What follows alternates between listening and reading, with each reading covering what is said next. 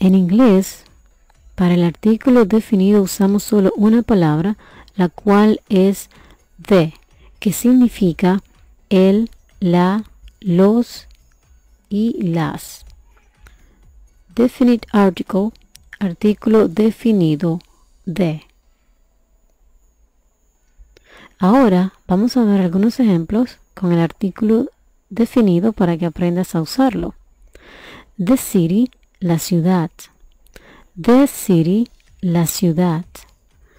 The city, la ciudad. The country, el país. The country, el país. The airport, el aeropuerto. The airport, el aeropuerto. The hospital, el hospital. The hospital, el hospital. The church, la iglesia. The church, la iglesia. The restaurants, los restaurantes. The restaurants, los restaurantes. The bathroom, el baño.